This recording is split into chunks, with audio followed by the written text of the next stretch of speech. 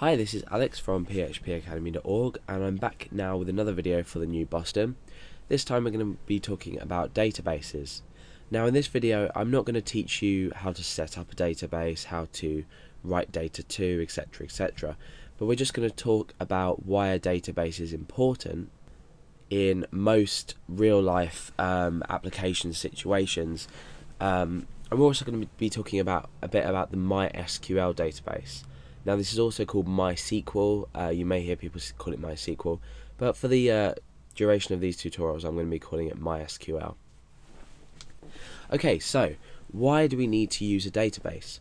Now, you may have come across databases before in the format of, say, Excel, um, not Excel, sorry, Access, um, and other database applications where you can store values with specific column names and you can store these values as a row.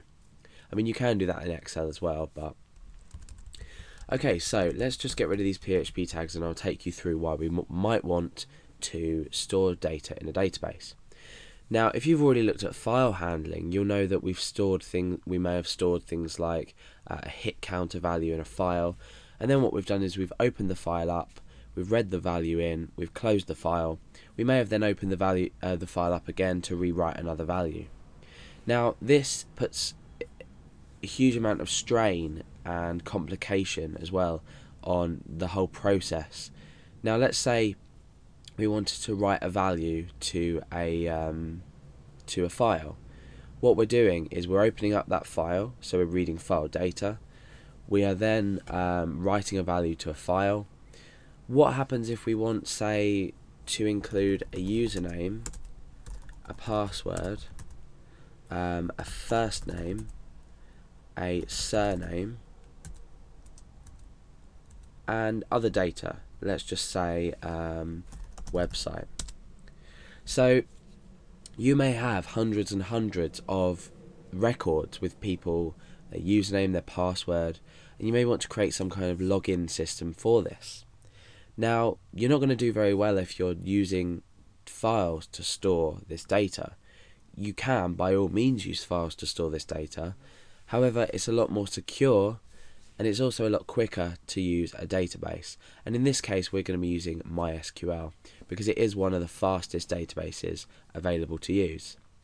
Now, MySQL is hosted on a server, so it will have um, it will have its own port number. If we open up the XAMPP control panel, you can see that I've got this process MySQL and it's running at the moment. And I think it runs on by default. Let's have a look. Can't see. Uh, let's stop it and then restart it.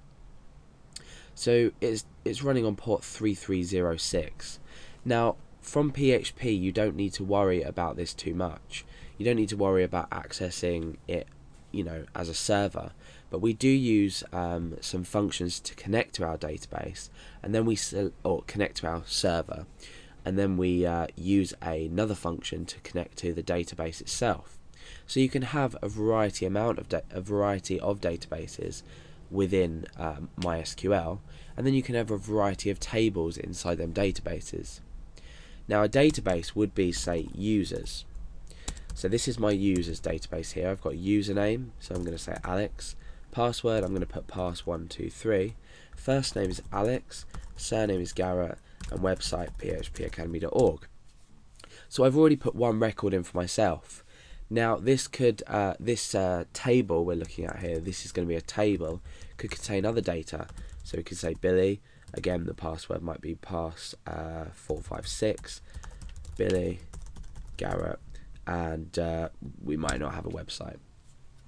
So um, we are storing essentially data in this way. Now the way we can access access this is we can select our table.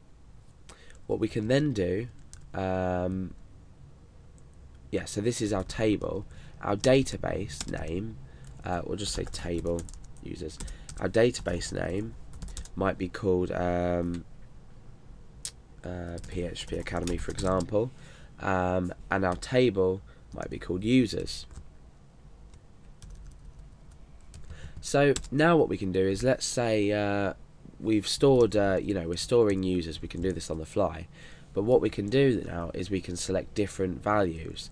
So I can execute something called a query, which will select a specific amount of data from a specific row.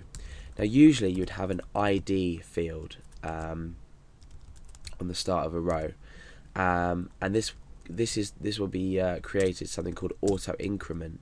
So you know what incrementation is? It just increments every time.